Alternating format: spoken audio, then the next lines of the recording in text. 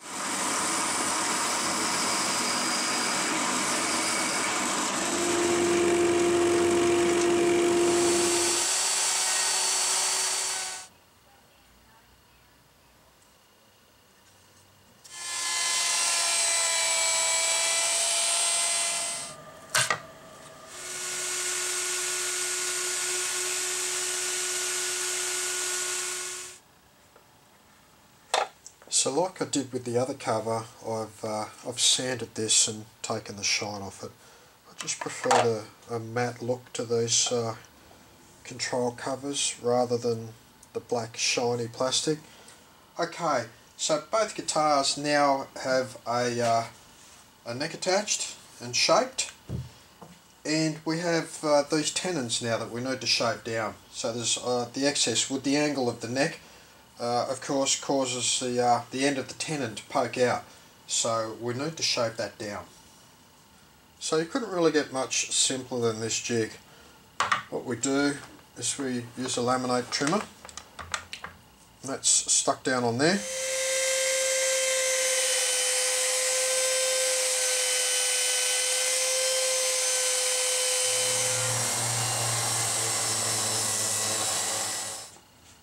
Alright, so we've got the bridge here, and we've just got a little wooden shim, and we've got the tuners in as well now. I mean, that's, apart from getting the neck angle right, which is very important, getting the bridge located in the uh, correct spot is uh, is the key to a guitar that will, uh, will play in tune up and down the neck.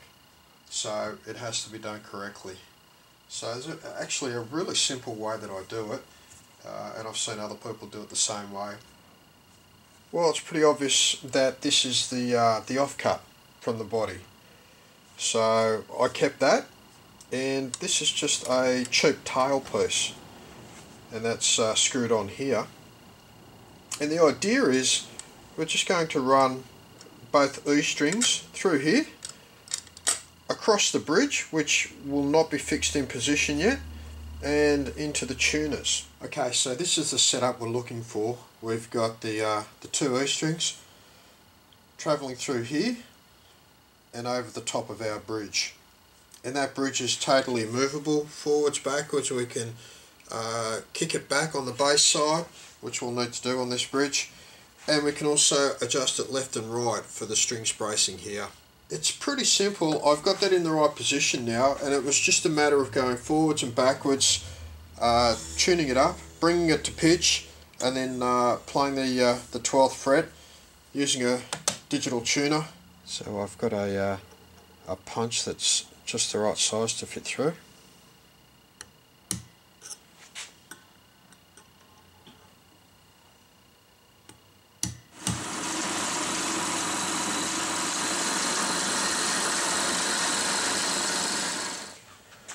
Right, so I've gone ahead and I use my drill press to press the uh, the studs in. I will take them out though because we need to uh, I need to drill a ground wire through.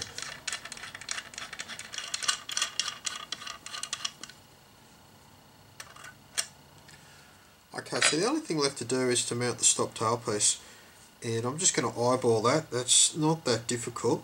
We've got a centre line which is coming down here obviously I want the centre line to fall between the, uh, the two holes there.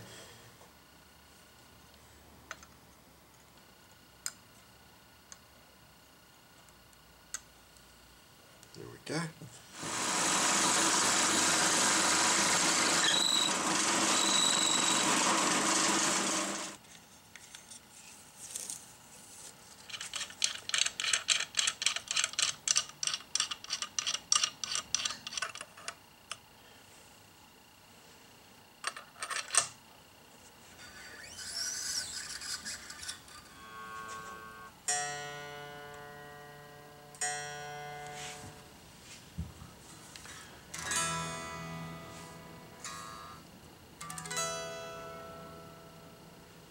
Okay, well that's uh, intonating correctly. Probably needs a, a fine adjustment, but I mean we'll do that when we set the guitar up. But certainly we're well within the range that we need to be. Okay, so I've loosened off the strings and I've just got the uh, two outer E's relatively tight and I can use the cover to uh, to mark where I want the cavity to go. So I'm just looking for even spacing on the strings over the two uh, pole pieces, the two E's.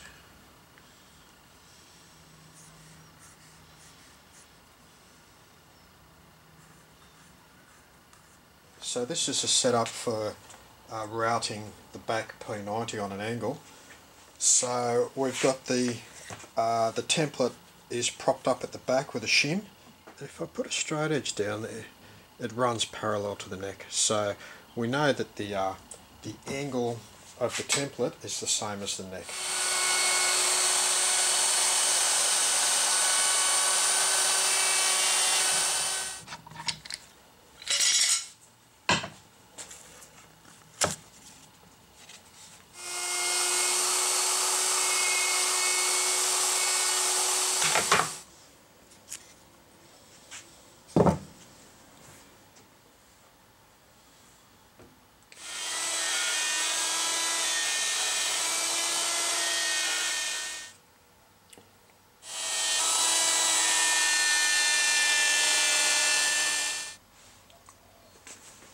Okay, so this camera angle will show you the reason that we uh, we angled the uh, routes for the pickups.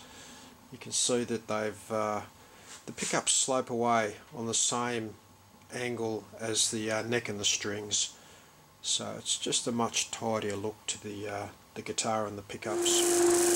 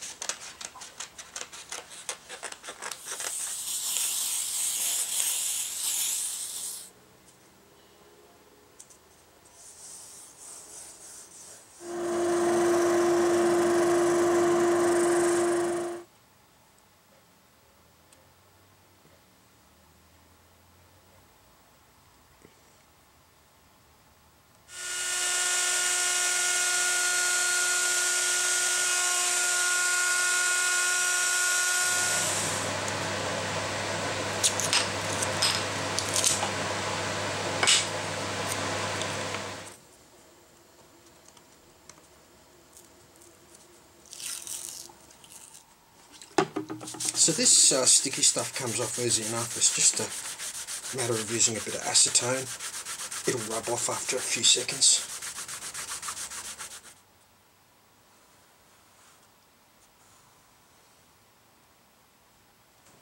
So I'm happy with the fit of that. Now I can actually uh, transfer this onto some thicker MDF. The reason I used uh, quarter inch MDF to uh, shape the template is because it's thinner and it's easier to work but it's still thick enough for me to be able to get a bearing onto it to, uh, to make a copy of this. So I'll make a copy of uh, this template now onto 3 quarter inch MDF.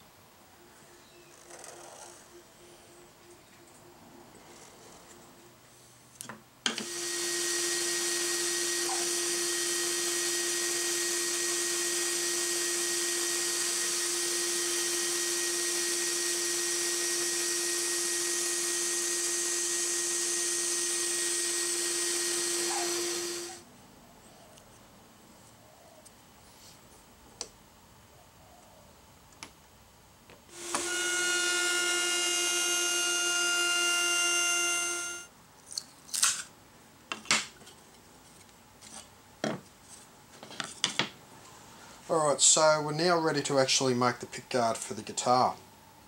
And what I've decided to do is keep it similar to the uh, Junior pickguard in that it's a real chunky pickguard, thicker than any uh, pickguard material you'd normally find. And uh, what I'm going to do is laminate white on the bottom and black on the top. And uh, I'll glue those together with uh, some super glue. So I'm just quickly scuffing up the two surfaces that are going to be glued together. Let's rough it up a little bit before we, uh, we put some glue on there. I find they tend to stick together better. They basically fuse together when they're super glued.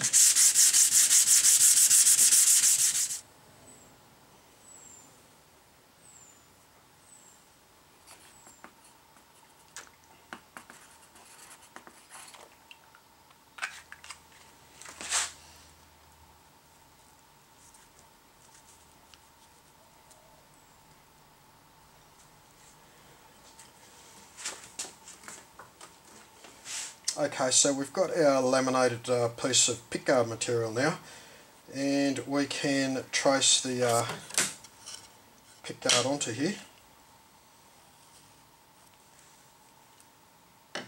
So I've just bandsawed that roughly and we can put the template on. Okay, this is about to get very messy.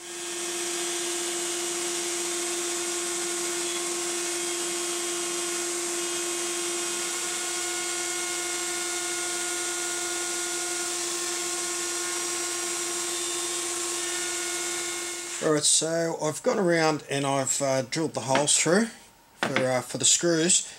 And the last thing to do now is to just put a bevel just on this section here. And that'll just give us a nice reveal and it'll show the uh, the white pickguard material underneath when the, uh, when the pickguard's mounted on the guitar.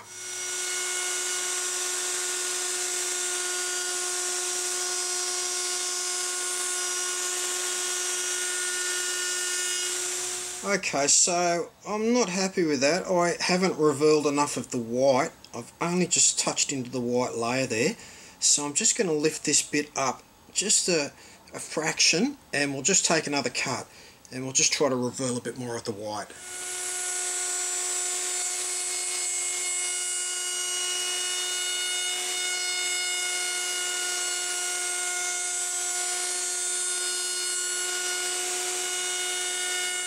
Okay, that's more of what I had in mind. We've cut down into the white layer now and we've got a, there's a nice reveal all the way around here.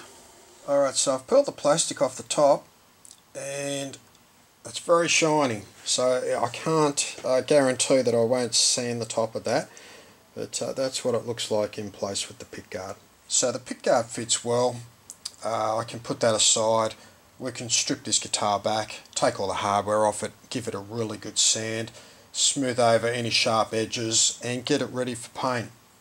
And this guitar is going to be a dog hair finish. So that is uh, black. So we tape all the binding up, we spray the guitar black, and then we come in with a, uh, a white grain filler. And we fill all the pores with a white filler, and then we spray some clear over the top. So you get this speckled effect. You get a black guitar with all the uh, the grain is all white. So it's uh, it's a pretty unusual uh, finish, but um, it looks pretty cool. So that's what we're doing on this guitar. Right, so we're going to drill the uh, ground wire, and we're going to use the bridge mounting hole. We're going to drill through there, and we're going to drill into the cavity that's in the uh, the back of the guitar.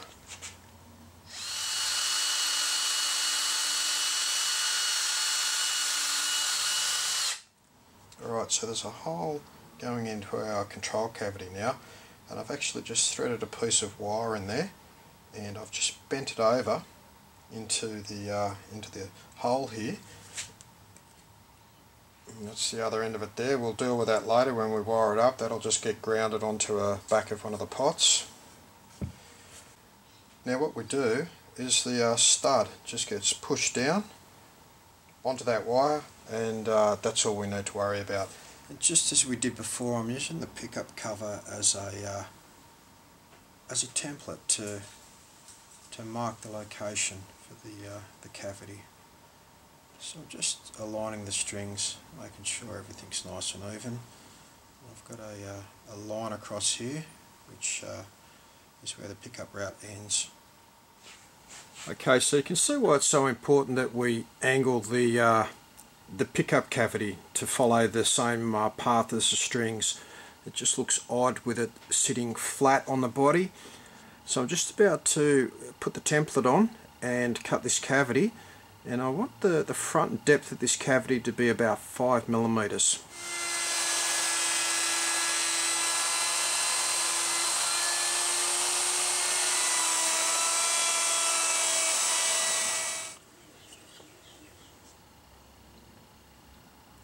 So you can see that the uh, the pickup cover is in now. It's not screwed down, but it's just temporarily in place just to check the angle and the angle looks good.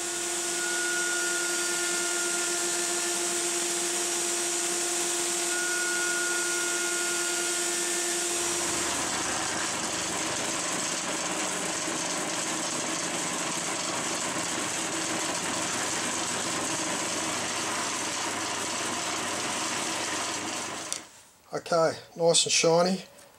So you know what I'm about to do to that.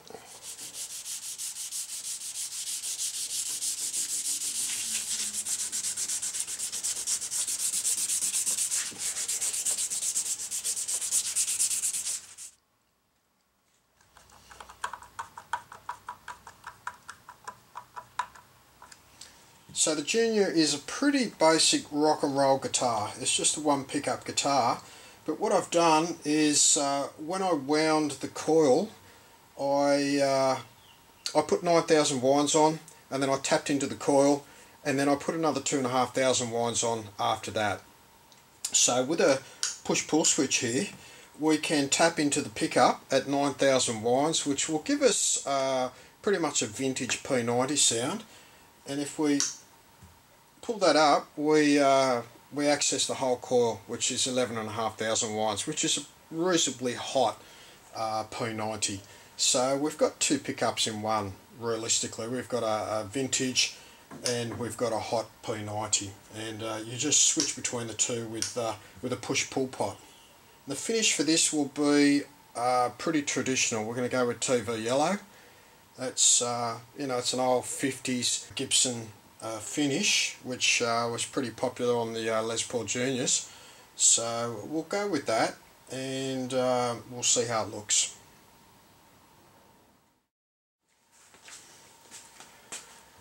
Alright, so both guitars are woodworking wise completed, uh, apart from a sand. They need a very good sand.